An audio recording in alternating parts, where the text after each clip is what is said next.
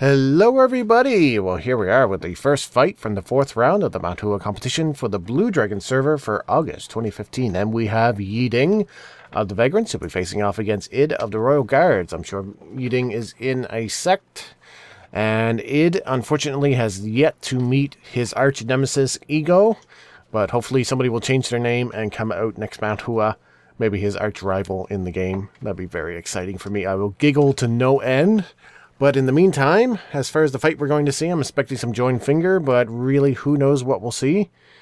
Yideng is coming out with some joined finger there early on. Id is coming out with a Ghost Claw, sent a Bloodshed, excellent follow-up. Gets the full connection, that's a little bit unexpected. I have not seen pure Ghost Claw in quite a while.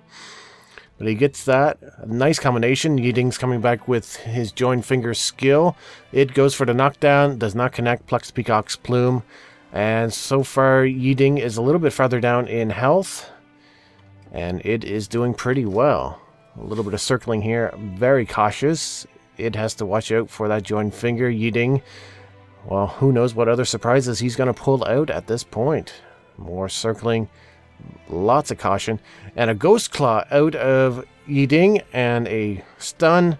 More joined finger. That Ghost Claw looks like it was copied from id with the joint finger skill. A Ghost Claw that does connect for Yideng and more joint finger. That is proving a pretty potent combination. There's the Rage! Oh, and it is down to less than 5,000 points of health. More joined finger out of Yideng doing terrible damage. Is this going to be it? Oh, the stun and the Ghost Claw.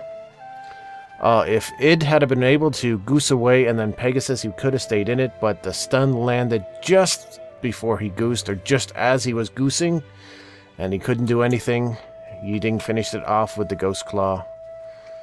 Explores darkness. Ugh. What a uh, terrible, terrible event for Id. A wonderful turn of events for Yid. Yideng, I mean. Yid. Ugh. So, that was a nice play there by him, though. So we'll have to see if Id can do anything about that joint finger, if he can mix it up and try to keep Yideng on his toes, or if he has something that can just overpower it, however unlikely that is.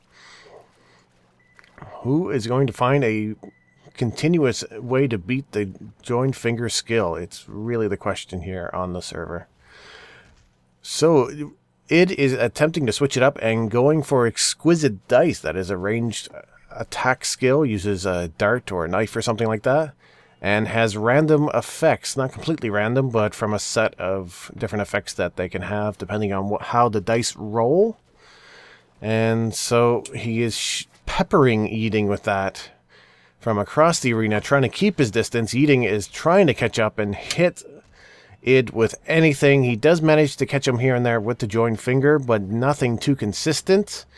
Uh, looks like Yideng has copied one of the exquisite dice skills and is using that as a ranged attack as well. But still, Id is doing a lot better than last time. He's definitely keeping his health up, if not inflicting the same kind of damage. But he is pulling ahead of Yideng. Yideng is at 12,000, 13,000, and it is up to 16,000, 17,000. He is staying ahead of him by a few thousand points of damage done. 25,000 versus 29,000 health for Yideng there being in the lead, so it definitely has to outperform Yideng here as far as damage done, but he is doing it with this exquisite dice skill. Pluck the Peacock's Plume from Yideng will get him a break from the pressure.